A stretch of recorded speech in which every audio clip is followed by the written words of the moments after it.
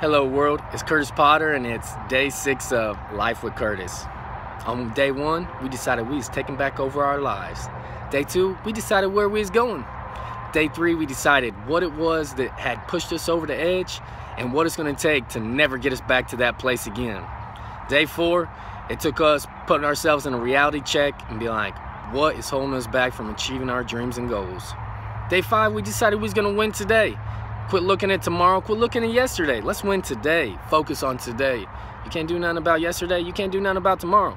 I mean, you may be able to work harder, plan, but let's face it, how many times has your plans worked out? Not always. So let's just go ahead and win today.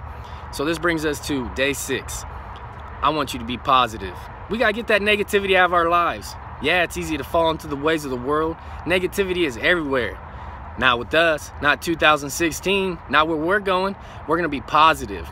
And the reason why I'm saying this is it's Monday. People always wanna be negative, dread Monday. Why?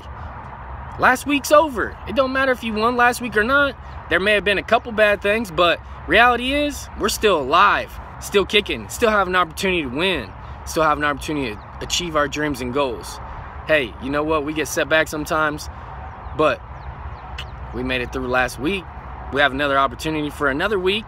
If you didn't do so well last week, hey, it's Monday. You have another week. Let's do it again. Let's win this week. Winning days are getting easier, so let's win this week. Let's be positive, folks. It's Monday. Let's kick Monday's butt. Why don't you act like it's uh, January 1st?